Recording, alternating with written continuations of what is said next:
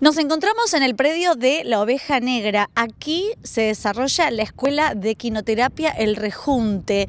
Fueron blanco de ladrones que se llevaron cuatro equinos eh, hace pocas horas. Lo cierto es que en muy poco tiempo la policía logró intervenir en dos chacras aquí de la zona de la margen sur y recuperar estos animales para esta escuela que desarrolla una importante tarea con los niños, que tienen distintas discapacidades y que utilizan al caballo como una vía de curación. Nosotros acá en la escuela tenemos un parte de equitación y equinoterapia.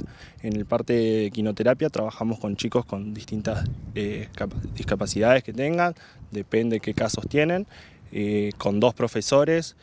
Eh, también en el caso de, de equitación trabajamos con chicos, le enseñamos de todo, desde dar alimento, agarrar el caballo, ensillar, desensillar, todos los cuidados del caballo y que vengan a disfrutar más que nada. Claro, eh, ¿cuántos chicos suelen estar aquí eh, haciendo ¿no, la terapia? Y por día pasan alrededor de 7, 8 chicos, depende, hay turnos que son de dos chicos, hay turnos que es de un solo chico, depende de cada caso y después estamos con dos a tres profesores. Eh, que es bueno, ¿no? Que pudieron recuperar los animales que se habían robado. Sí, una lástima que los hayan robado directamente, pero sí, lo bueno es que lo pudimos recuperar ese mismo día.